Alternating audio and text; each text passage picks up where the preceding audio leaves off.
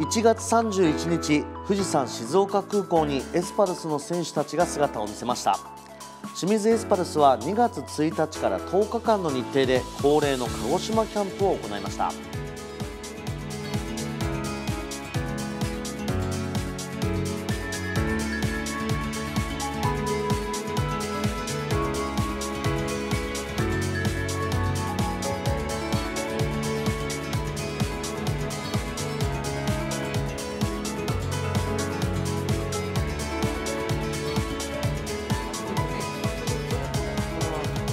このジンマル俺持ってるっすわ。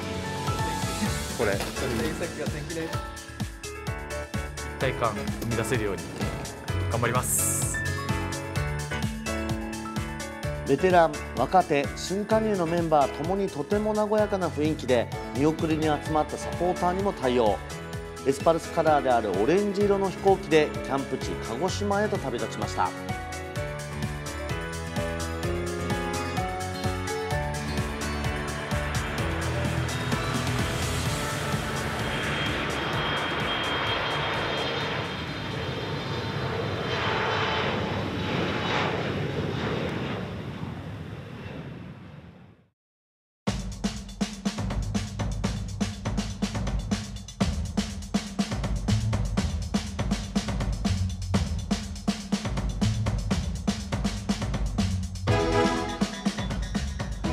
今年で19回目となったエスパルスの鹿児島キャンプ。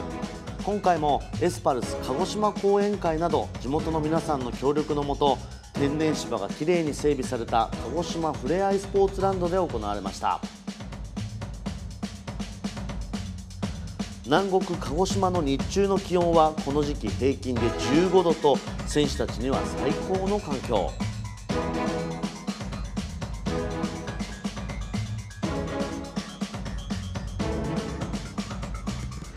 キャンプ中盤には新外国人選手のルーカス・ブラガ選手もチームに合流しました。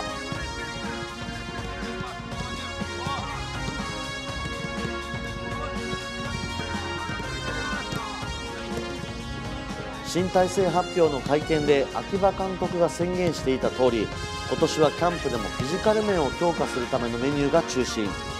連日ボールを使ったトレーニングは早々に切り上げ持久力アップの特別メニューが用意されていました。この日はさまざまなデータをもとにグループが分けられ選手たちはそれぞれ設定タイムの異なるシャトルランをひたすら繰り返しました。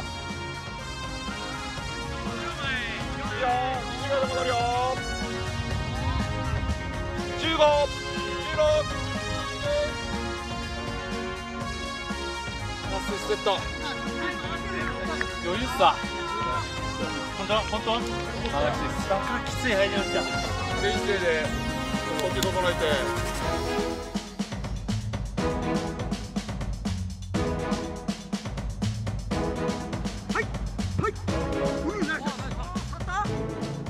また平均年齢が若くなったゴールキーパー陣も権田選手を中心に日に日に連帯感が深まり充実したトレーニングを重ねていました。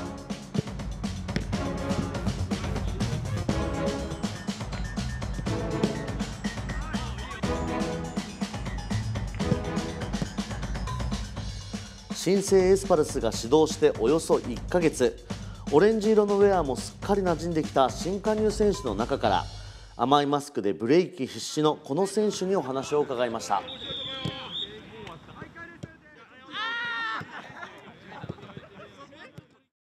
とてもいい雰囲気で、あのーサッカーも、まあ、ピッチ外のところでもできてますし本当いい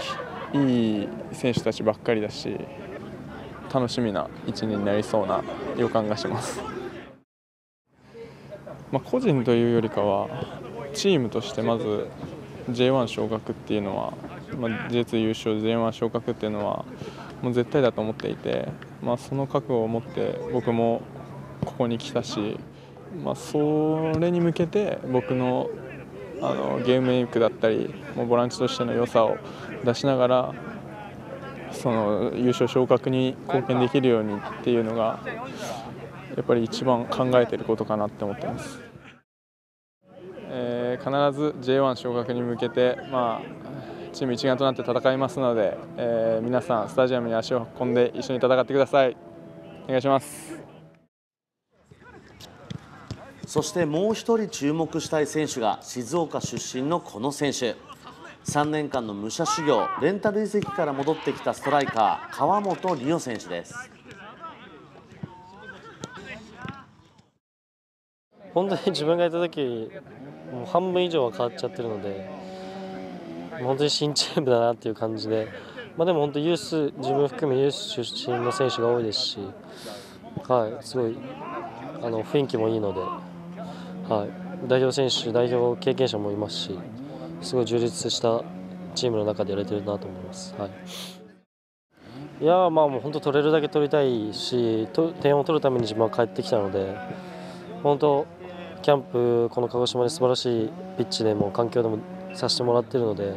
コンディションどんどん上げて、まあ、開幕スタートからいいあの得点という形でチームに貢献できるようにしたいなと思います。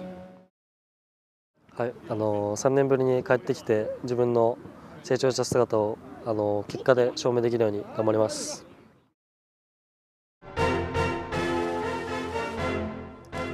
最高の練習環境最高の雰囲気で結束が高まる新チーム。練習場には連日多くのファンサポーターも訪れ J2 優勝そして J1 復帰への期待値が高まります。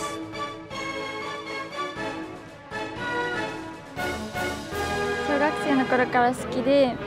とこうやって日本でと熊本から近い鹿児島で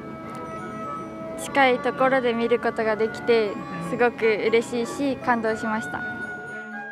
頑張れエスパルス。開幕からいいスタートダッシュを切って圧倒的に J2 を制覇して、え J1 に昇格してほしいです。頑張れエスパルス。清水エスパルス今年の開幕戦は2月25日アウェー熊本に乗り込みロアッソ熊本と対戦します